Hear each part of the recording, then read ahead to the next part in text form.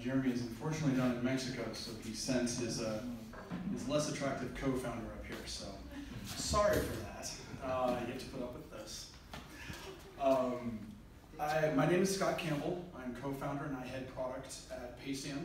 Uh, I have led product at uh, little unknown startups like uh, Google, uh, MTV. Um, probably no one's ever heard of Morgan Stanley. At Morgan Stanley actually is where, where I like to start my, my story of my career in finance, which I know sounds terribly exciting, but I promise you it's actually kind of boring. Um, I used to work for the FID and EIED departments, um, which is some fantastic acronyms that don't worry about. Um, but what happened at Morgan Stanley is here you have this organization that is transferring billions, trillions of dollars, and they're pumping a nice proportion of that amount into their technology. Uh, here you have one of the, the preeminent banking institutions in the United States, a variety of opinions about them, I've heard most. Um, but, uh, and they're putting all this technology in there to produce better products to transfer uh, value around when you're investing, when you're uh, doing an, an, analysis or an evaluation. They launched Google's uh, IPO. And here you have these billions and trillions moving around, but does anyone want to take a stab as to how most of that money ended up actually being moved? Paper checks and wires. Wires were invented in the 1800s. They actually haven't gone through that many evolutions yet. Uh, very much taking on. If it ain't broke, even from the 1800s, don't fix it. Paper checks. Uh, is anyone here not familiar with paper checks? this is the how you buckle your seatbelt part of the video. So um, uh, that's how most of the money was going in and out of here, and it was it was baffling. Well, fast forward to uh, to Jeremy's and mine. Uh, he and I have known each other for 13 years.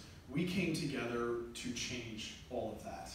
Um, and that's what PayStand does. We are digitizing the transfer of value from one organization to another. That's a payment. Uh, we're focusing on the commercial and B2B space because no one else has.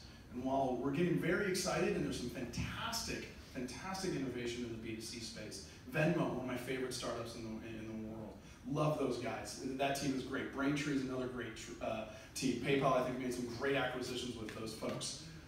B2C space, and they're innovating there. Why has no one changed checks and wires? This company, DocuSign, sends checks and wires. They take checks and wires. This is baffling.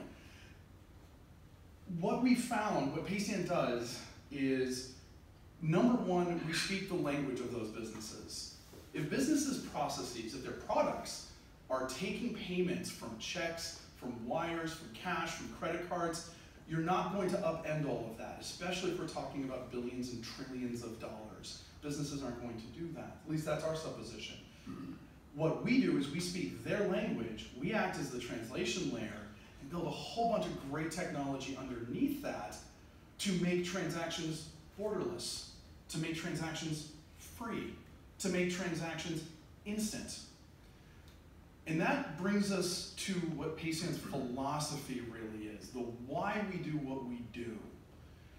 If any of you have been alive since 2008, you look pretty young, but um, everyone else has been, oh, but there's one person in the back who maybe was not alive in 2008.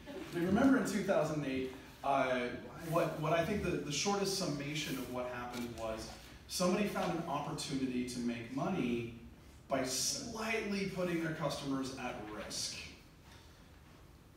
financial transactions should defend its customers against those risks, and not at the cost of success, but actually in a mechanism that furthers success. And it can be done, it must be done. We can actually make transactions move all over the globe instantaneously with complete defense from adulteration, and it must be done. It, it must be done, and with PayStand, it is done. And that's, that's what we end up building. So we're uh, a five-year-old startup, Series A. Um, we, we are as about as knowledgeable about B2B payments as anybody can get. I would love to entertain any of your questions from, from the architectural standpoint, but also more if you're a business and, and, and you're looking at ways to automate your outreach, you're looking at ways to enhance and augment your marketing, and you're looking at ways to digitize your CRM, and you're looking for ways, how can I reach my customer to get them to see my products so they'll pay for them more quickly and more easily? but your accountants are still talking about waiting 30, 60, 90 days for a check to arrive in the mail? Come on, we can all innovate that stuff, so. I, I promised Matt I'd keep it under five minutes. Uh, I think, oh, I'm doing so well, I did it instantaneously. That's how fast our payments work. Uh, and with complete fidelity at that, so, you know, it was a perfect pitch. Um, Miles, do we want to open up questions now or do No, that let's- let's- later We'll do five minutes Q and A. All right. Um, So raise your hand